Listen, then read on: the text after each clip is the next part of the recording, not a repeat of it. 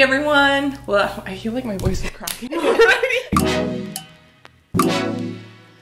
hey everyone, it's Wendy and I have a special guest. Do you know her? It's Navarose! Hi! If you don't know Navarose, now you do. She does amazing sewing tutorials on YouTube. Very cute fashion, giving you all sorts of BTS fangirl action as well. Wendy's a new BTS army. I'm like I've been inducted. Rapid fire. My little brother, who's actually a fan, will be like, What? No. We're doing a challenge today. We're starting with the same thing, and then you're gonna mm-hmm. see our different styles.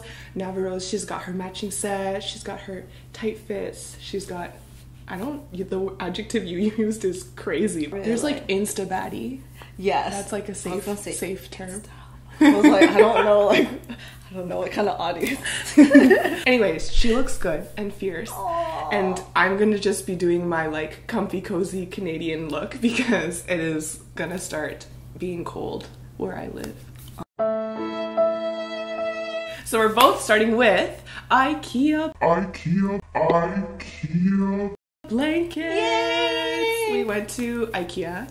We both picked out our blankets. Five, six, seven, eight. Ah!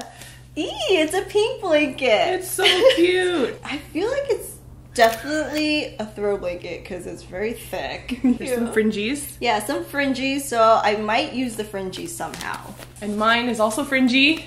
It is Ofelia Come on, very Ofelia. thick and plush. Hopefully, will make me into a super huggable person. We are gonna start sewing, mm -hmm. and you will get to see me transform this on this channel. And then, if you want to see her rendition of the IKEA throw blanket transformation, you can check it out there. Obviously, if you want to try this, you don't have to buy a brand new blanket. Right? Yeah. like you probably already have more than enough throw blankets at home. And then, lastly, the only thing I want to address is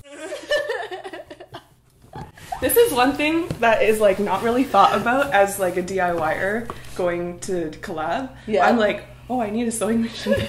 so we're gonna unbox with you Nava's Grandmas, yeah. Ooh. May she give us the sewing powers, energy.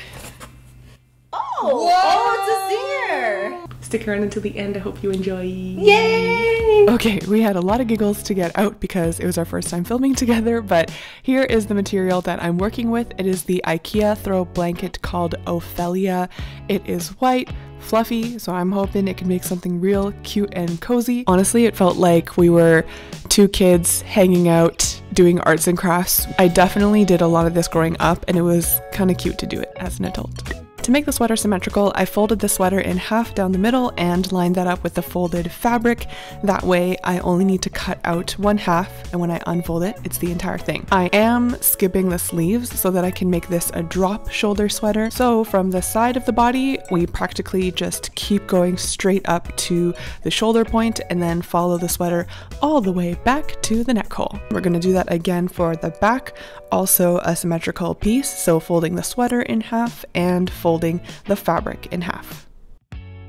And finally, for the sleeves, you will need one for each arm, and then these pieces should be symmetrical to each other. So I flip the sleeve over to capture the front and the back of it, and I cut that through two layers so that it is both sleeves done symmetrical to each other.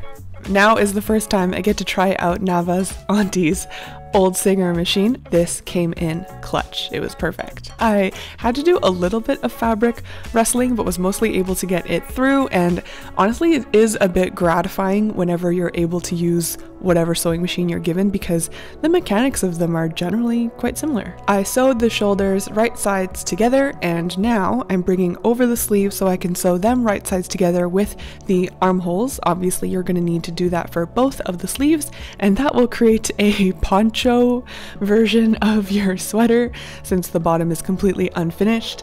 Uh, it will also create a giant mess of fluff if you are using a material like mine. If you look closely, you may catch Nava's robot vacuum behind me. With everything right sides together on the ground, I line up the sleeves and the sides and then sew these with a straight stitch. As always, starting in the armpit, going down the sleeve, and then back to the armpit and go down the body. And try not to drown in the fluff. Time to try it on and never let this shirt be black again. It's gonna be so much wind. Okay, I said time to try it on, but I'm not done yet. I still wanted to add these sleeve things. I'm hot already. Okay, I need to make the neck hole a little bit smaller. This is the band that was holding the blanket when I purchased it, and I think what I need to do is utilize its firm structure in juxtaposition to the stretchiness of this. I'm gonna use it to line the neck hole in the front so that it stays locked. So I'm just gonna fold over and hem these edges to finish them off and then sew it to the front.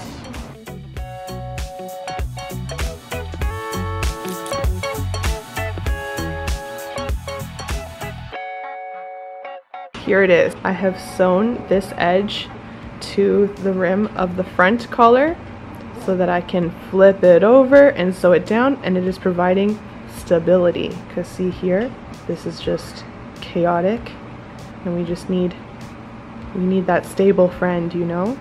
The rock may it be this band.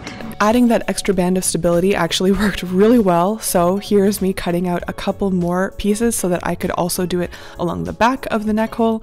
Sun is setting we've come out here to shoot you our looks Nava's getting her fancy cam. Thankfully not as hot as it was earlier. Honestly, yeah. I would have died. All the oil blotting sheets in the world would not have saved me.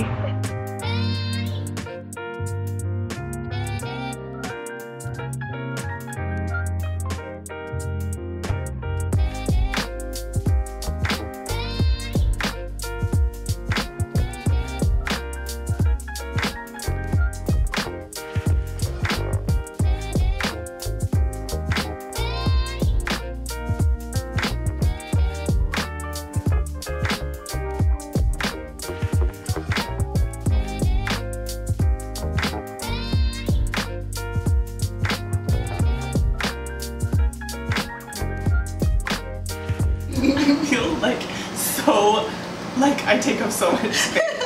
Thank you so much for watching. I hope you enjoyed the transformation that we did in Yay. three hours? No, what time is it?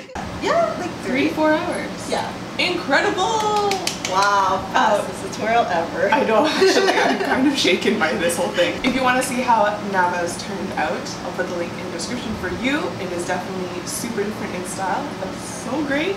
Give her a subscribe, show her some love, and if you want to see any more of us, you can subscribe. You know what to do. We'll see you next time. Bye.